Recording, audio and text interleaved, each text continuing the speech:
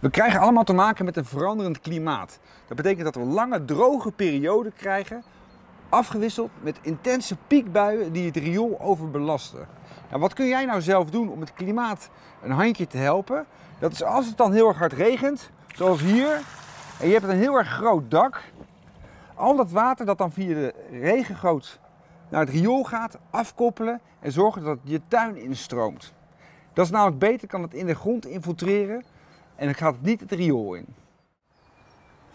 Een andere manier om te zorgen dat jouw tuin beter bestand is tegen het veranderende klimaat, is stenen eruit halen. Hartstikke belangrijk. Het voorkomt hitteopbouw in je tuin en het zorgt ervoor dat het regenwater weer makkelijker in de grond kan infiltreren. Ja, en als je dan een verhouding doet van 50% steen en minimaal 50% groen, weet je altijd zeker dat je goed zit. En voor meer informatie kun je naar steenbreek.nl.